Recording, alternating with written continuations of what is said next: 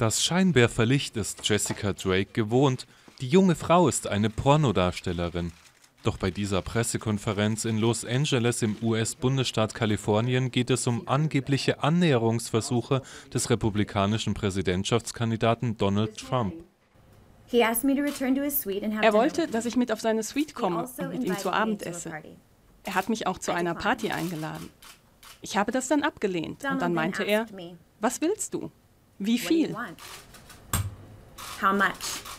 Die Pornodarstellerin will Trump bei einem Golfwettbewerb im Jahr 2006 kennengelernt haben. Weil sie seine Annäherungsversuche abgewehrt habe, bot ihr Trump demnach 10.000 Dollar für eine Nacht. Drake ist bereits die elfte Frau, die Trump sexuelle Übergriffe vorwirft. Ich bin womöglich nur ein kleines Sandkorn. Aber es gibt ja hier erkennbar einen ganzen Strand. Trumps Wahlkampfteam wies die Geschichte als falsch und lächerlich zurück. Trump kenne die Person gar nicht und habe gar kein Interesse daran, sie zu kennen, hieß es.